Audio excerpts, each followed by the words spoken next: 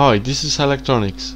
In this video the LM3915 LED VU meter circuit will be built on the breadboard. Before the video starts, be sure to subscribe and press the bell for notifications. The LM3915 is a dot bar display driver IC which was first produced in 1988. I've intentionally not called it an LED driver because it can also drive fluorescent and LCD screens. The format is 18 pin dual in-line package. Let's start building on the breadboard. The power supply is a 12 volt 2.5 amp transformer which is connected to a bridge rectifier. After that an LM7809 provides a smooth 9 volt power supply for the circuit. This is the original diagram from the datasheet, it has some unnecessary components and traces which were removed. The result of a lot of experimentation was a much simpler circuit, which can be built easily and can be tested on a breadboard. Here is the modified circuit, only the necessary components are left. The circuit is set to bar mode, but a small switch can make it changeable. The first thing to place is the LM3915 IC in a way that the pins 10 to 18 are connected to the last 9 LEDs. The first LED will be connected to the pin 1.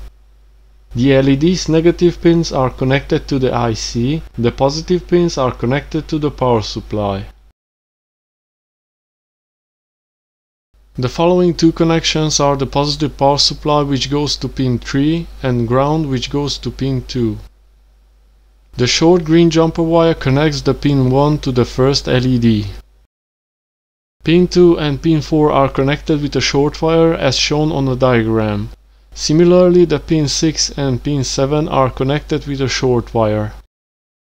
A 1 kΩ resistor's one end is placed to the pin 7, the other end is connected in series with a 200 ohm resistor, which has the other end connected to the pin 8. The total resistance value between pin 7 and pin 8 is 1.2 kΩ. Pin 9 is connected with a wire to the pin 3, the positive power supply. This way the VU meter is set to bar mode. Pin 8 is connected to pin 4, the ground.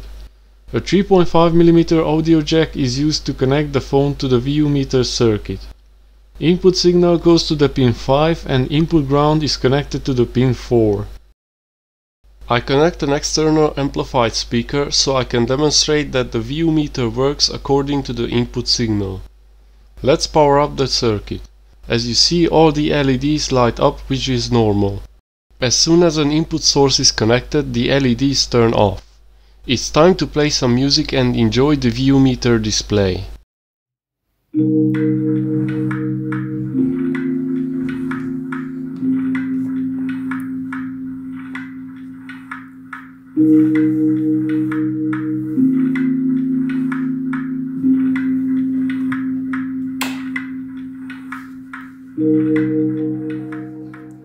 This circuit is a bare minimum to begin with, the easiest way to build it.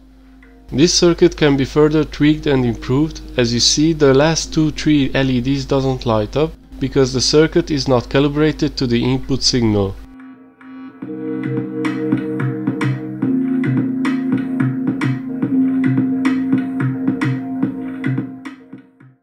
The 1.2k ohm resistor can be changed with a 5k or 10k ohm resistor because the brightness of the LEDs are too high with the 1.2k ohm resistor. Using higher value resistor will reduce the brightness. Personally, I preferred the 10k ohm resistor which resulted an adequate brightness. Furthermore, higher value resistor results in lower reference current, so the LEDs use less current, which means they last longer and the IC won't have thermal issues. I've made more tests and added two trimmers, one to tweak the circuit sensitivity to the input signal's amplitude, this way all the LEDs lit up as they should. This trimmer's one leg is connected to the pin 9 which is connected to the positive power supply. The other leg is connected to the ground and the middle leg is connected to the pin 6 which is the reference high, so this way the circuit can be calibrated to the amplitude of the input signal. The second 10k ohm trimmer, which is optional, was placed after the 1.2k ohm resistor which adjusted the brightness of the LEDs. The total resistance of the resistor and trimmer, overall 11.2k ohm, resulted a good brightness of the LEDs. As mentioned earlier, it is better to place a 10k ohm resistor to save space and costs, but if you want to have adjustable brightness of the LEDs, then this is the solution. Take care to have the 1.2k ohm or higher resistor before the trimmer, otherwise the IC and the LEDs can get damaged. That's it for the today's video, hope you enjoyed. Thank you for watching.